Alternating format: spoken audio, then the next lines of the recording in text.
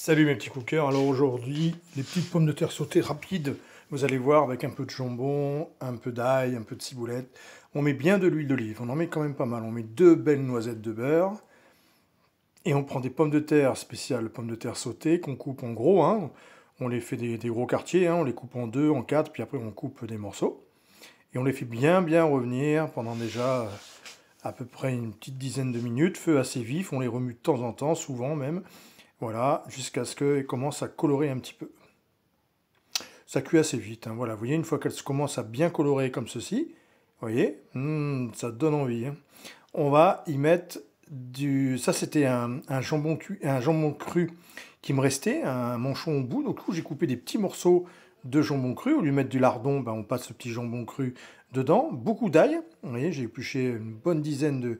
et puis, je ne l'ai pas haché, je l'ai haché, mais gros, vous voyez, pour qu'on ait des gros morceaux d'ail dedans.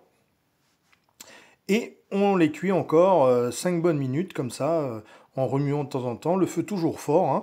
on n'hésite pas, on, reste devant, on les remue, on les remue, et on laisse le feu assez fort. Sel, poivre, bien évidemment. Toujours.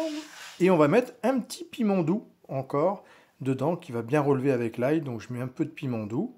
Voilà, tout simplement. On remue tout ça. Je prends la ciboulette ensuite. Beaucoup de ciboulette. Je ne mets pas de persil, je mets de ciboulette. J'aime bien c'est moins fort, des fois ça, se marie bien aussi.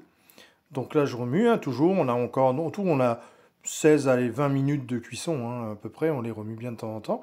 Beaucoup de ciboulette, ciselées, on les remue, et voilà, nos petites pommes de terre sont toutes prêtes.